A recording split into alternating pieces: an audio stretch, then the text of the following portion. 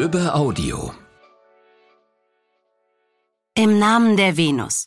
Was Frauen Männern sagen wollen. Von Jessica Fearley.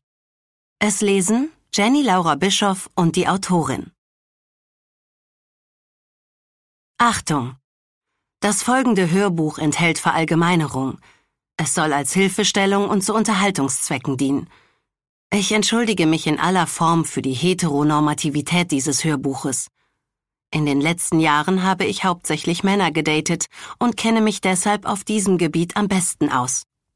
Love is Love. Meine Ratschläge richten sich an psychisch gesunde Menschen. Bei tiefergehenden seelischen Problemen empfehle ich, sich professionelle Hilfe zu suchen. Der Inhalt basiert auf meinen persönlichen Erfahrungen, die ich beim Dating als Single, während meiner ersten Beziehung, mit meiner ersten großen Liebe, einem heftig gebrochenen Herzen und in einer Liebe ohne Zukunftsperspektive gesammelt habe. Er basiert auf Erzählungen, Begegnungen und Gesprächen mit Sexualtherapeuten, Eltern, Prostituierten, Callboys, Millionären, Promis, Arbeitern, Freunden und Familie auf meinen Gedanken, auf Studien und Statistiken und auf Recherchen, die mich inspiriert haben und mit deren Hilfe ich mich mit dem Mythos Liebe auseinandergesetzt habe. Ich habe mit Menschen gesprochen, nachgefragt und zugehört. Mein Ansatz ist der einer Journalistin, einer Forscherin und einer guten Freundin. Liebe entsteht aus Imagination, einer kreativen Synthese, die darauf abzielt, unsere tiefsten Sehnsüchte und ältesten Träume wahr werden zu lassen, wodurch wir uns erneuern und verwandeln können. Ethel Person Einleitung Frauen lieben Männer. Wir lieben alles an euch. Wir lieben eure Abenteuerlust. Wir lieben eure ausgeprägten Kieferknochen die starken, sehnigen Hände, mit denen ihr uns beschützen und leidenschaftlich packen könnt. Wir lieben eure kratzigen Bartstoppeln. Wir lieben, wie ihr Sachen repariert und unsere Autoreifen aufpumpt, obwohl ihr wisst, dass wir es auch selbst könnten. Wir lieben, wenn ihr unser größter Fan seid, uns bewundert und stolz darauf seid, uns an eurer Seite zu haben. Und wir lieben es, wie hell ihr strahlt, wenn wir euch zu unseren Helden ernennen. Wir lieben es, wenn ihr uns fragt, ob uns kalt ist und uns eure Jacke anbietet. Wenn ihr uns bis zur Haustür begleitet und uns die Tür aufhaltet. Und ja, wir lieben es auch, wenn ihr uns Komplimente macht. Und wenn eure Augen dabei schüchtern und trotzdem frech aufblitzen. Wir lieben es, wenn ihr uns hinterher schaut. Und wir lieben es, uns für euch schön zu machen, euch zu verführen. Denn wir lieben es, mit euch zu schlafen, euch zu spüren, eure feste Haut, eure Erregtheit und die Enthemmtheit, die wir bei euch auslösen können. Wir lieben es, wenn ihr euch um uns sorgt, uns umsorgt und uns versorgen möchtet, auch wenn ihr wisst, dass wir alles schon selbst im Griff haben.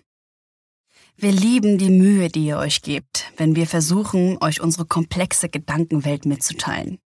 Wir sehen, was ihr alles für uns macht wie viel Überwindung, Geduld und Mühe es euch kostet, uns zu besänftigen, wenn wir uns in ungerechtfertigte Eifersucht hineinsteigern. Wir lieben es, wenn ihr an einem unglaublich fiesen Männerschnupfen erkrankt und es zulasst, dass wir euch helfen, wieder gesund zu werden. Wir lieben es, wenn ihr euch von uns trösten lasst und in unserem Arm einschlaft oder wenn ihr uns in den Arm nehmt und tröstet, egal wie unlogisch euch die Gründe für unsere Tränen auch erscheinen mögen. Wir lieben euch als Väter unserer Kinder. Wir lieben, wie ihr sie zu starken, furchtlosen Wesen großzieht. Wir lieben euch. Wir können gar nichts dagegen tun. Es gibt wohl kein Thema auf dieser Welt, das uns mehr beschäftigt, über das hitziger und kontroverser diskutiert wird, als über die Liebe. Die Suche nach der Liebe ist ebenso wichtig wie das Streben nach Glück, die Frage nach dem Sinn des Lebens oder der Umgang mit dem Tod.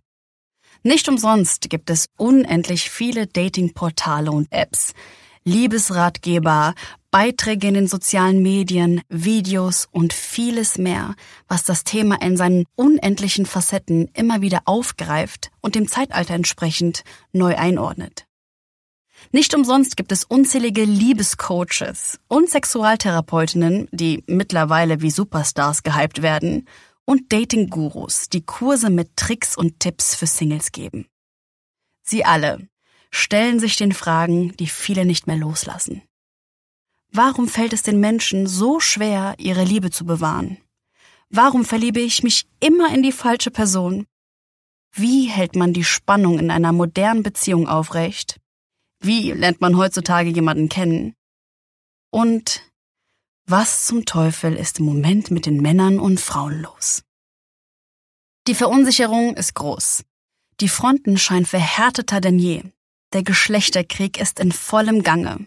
Die Kluft zwischen Mann und Frau wird immer größer. Was früher als feste Regel galt und im Umgang zwischen den Geschlechtern als normal empfunden wurde, ist längst komplett über den Haufen geworfen worden. Über alles wird geredet und verhandelt. Alles wird bewertet und verurteilt. Das wirft unglaublich viele Fragen auf und sorgt für Unsicherheit. Besonders bei Singles und Heranwachsenden, die gerade ihre ersten Berührungen mit der Liebe haben. Frauen haben es satt, sich mit weniger zufrieden zu geben, als es die Männer tun, und weisen ihre Partner anklagend zurecht. Männer trauen sich nicht mehr Frauen anzusprechen, weil sie in TikTok-Videos junge Frauen sagen hören, dass sie sich durch ein Hey, wie geht's belästigt fühlen und Männer deshalb des Catcallings beschuldigen. Männer haben es verlernt, die Signale einer Frau zu deuten und Frauen die Signale deutlich genug auszusenden. Viele Frauen haben überhaupt keine Idee mehr, wo sie noch einen potenziellen Partner finden könnten, wenn sie keine Lust auf ihre Arbeitskollegen, Kommilitonen, auf Freunde oder den Cousin der besten Freundin haben. Es gibt unzählige Frauen, die es verärgert, dass ihnen die Männer die Tür nur so lange aufhalten, bis sie ihnen die Tür zu ihrem Schlafzimmer geöffnet haben. Viele Männer fühlen sich in ihrem Ego so gekränkt und sind so entmutigt, wenn sie einen Korb kassieren, dass sie sich gar nichts mehr trauen möchten. Frauen und Männer sind frustriert darüber, wie schnelllebig das Datingverhalten geworden ist und wie schnell man abgesägt wird. Hinzu kommt, dass einem das Internet suggeriert, die Auswahl an potenziellen Partnern sei riesig. Verlockend ist das Angebot in einer Konsumwelt, die auch in Sachen Liebe und Partnerwahl unbewusst unseren Appetit immer wieder anregt und uns von der Frage, auf was habe ich wirklich Hunger, ablenkt. Nicht wenige zeigen sich erstaunt darüber, wie viele flüchtige Bekanntschaften sich ein Single ganz ungezwungen eigentlich gleichzeitig warm halten kann. Die Liste der Enttäuschungen ist endlos lang. Und mit ihnen gehen Schmerz, Frust, Verbitterung, Argwohn und Resignation einher. Die Schuld dafür wird beim jeweils anderen Geschlecht gesucht statt das eigene Verhalten kritisch zu hinterfragen. Viele suchen den vollkommenen Partner und vergessen darüber ihre eigenen Schwächen. In der Liebe scheinen wir uns neuerdings mit dem Scheitern am besten auszukennen. Noch nie war unsere Identitätssuche so stark mit der Partnerwahl verknüpft. Entwicklungen wie Online-Dating und soziale Medien, die Veränderungen bei den Geschlechterrollen, der Feminismus und die Emanzipation tun ihr Übriges, die Unsicherheiten, besonders bei Männern, zu schüren. Doch während die Welt sich ständig wandelt, bleibt unsere Natur die gleiche. Denn unser Hirn entwickelt sich nicht so schnell wie unser soziales Umfeld. Und doch ist nach wie vor für viele das Einzige, was bleibt und zählt, die Sehnsucht nach einer tiefen Liebesbeziehung, nach einer Verbindung, nach einer Seelenverwandtschaft. Und so entstehen täglich neue Beziehungen. Jede Minute, jede Woche, jeden Monat, Jahr für Jahr. Es könnte so einfach sein, einen passenden Partner zu finden, wenn es nicht so schwer geworden wäre, sich einander zuzuwenden. Wenn wir doch nur lernen könnten, das eigene sabotierende Ego schneller zu erkennen. Wenn wir doch nur lernen würden, Ehrlichkeit zu schätzen und zu ertragen, anstatt dem anderen ein toxisches Motiv zu unterstellen. Wenn wir doch nur unsere wunden Punkte offenbaren würden, damit wir uns gegenseitig besser verstehen, anstatt uns zu verletzen. Wir alle müssen an uns arbeiten. Wir alle haben blinde Flecken. Ich übersetze.